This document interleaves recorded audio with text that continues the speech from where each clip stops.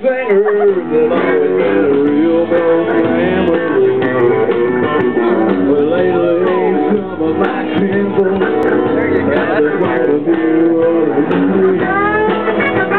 Well, I guess it's because you my direction. Lord, I guess I went wrong. Family